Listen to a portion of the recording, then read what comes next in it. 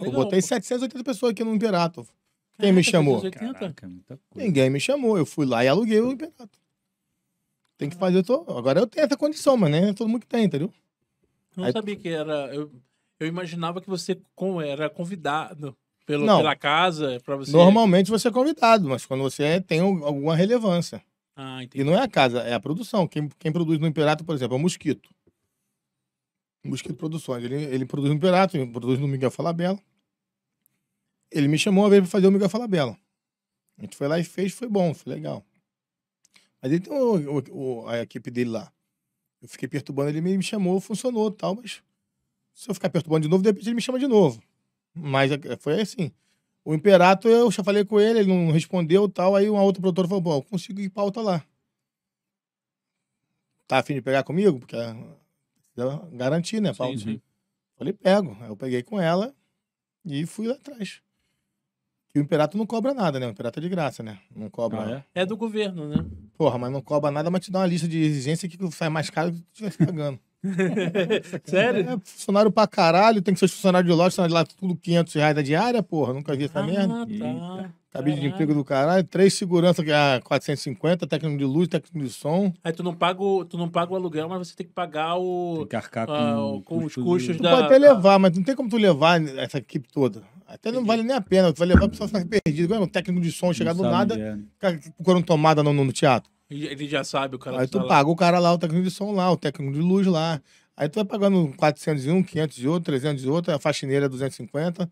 Quando tu vai chegar, deu, deu 6 mil, 7 mil. Ah, entendi. Entendeu? Não foi isso tudo, não, mas uns 4 mil eu gastei lá. Aí, obviamente, quando tu vende, você repõe. Mas, tipo assim, pô, vende 750 eh, ingressos a, a 40 reais, 60, não, não, não vende, né?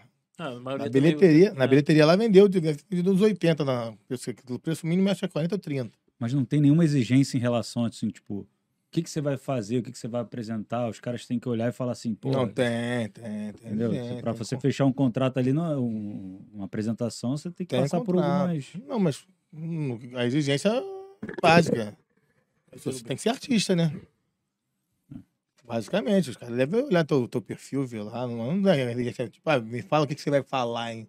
Não, você assina um contrato assumindo tua responsabilidade que tu fala lá em cima e, e assume mesmo. Se der merda, você assume e eles eles estão isentos. Se eu quiser, por exemplo, vamos fazer um, o panorama no palco lá e faz um dia, paga quatro, sei lá, o valor lá. E É, eu não- lá não paga. Mas onde é que você paga? Você pagaria o valor e, como é, um, é da prefeitura, eles, eles pegam uma quantidade de ingressos para eles, que eles dão.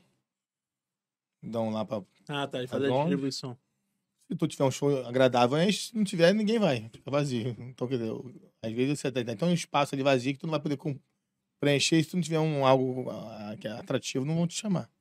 Não vai, não, não vai ninguém. Mas eu, como, como meu, meu Mas nome vou, era- vou poder fazer mesmo assim. pode fazer. Tá Vazio. Doido, tá doido pra fazer, né? Não. Se tu conseguir a pauta, a pauta lá é disputada. Ah, entendi.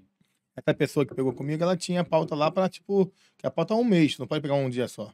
Ah, Aí o cara pega a pauta de um mês, Entendi. que Aí tem- de, de rateio. tipo, toda terça-feira arruma- meu stall. É isso. é, Rateia aí arruma. O, o mosquito deve fazer isso. Ele pega lá a pauta de um mês no, no, no Miguel Falabella e bota o Querner, bota o, o Marçal, não sei o que mais que ele bota, não lembro quem. Cacau Protásio, ele, quem, não lembro quem foi que ele, quem mais ele produz, mas ele produz uma galera aí. Aí ele vai botando alternado, ou, ou quando o cara tá em alta, bota toda semana também. Aí depende, ele faz a agenda dele. Mas ele acho que ele tem três dias no. no, no o, o Mosquito tem uns três dias no Miguel Falabella, tá dominando lá.